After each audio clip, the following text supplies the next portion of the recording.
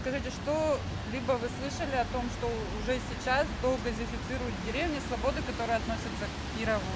Я не только согласна, а наконец-то, потому что я очень рада, что Кировская область будет э, газифицирована до конца, и в каждую маленькую деревеньку люди смогут получить газ, то есть то тепло, и, может быть, старшему поколению э, облегчит э, жизнь, потому что я думаю, что в деревне живут достаточно уже пожилые люди, и они, не, им не надо будет колоть дрова, топить печки, и газ придет в дом. Поэтому это здорово, как говорится, дай Бог, чтобы это все притворилось.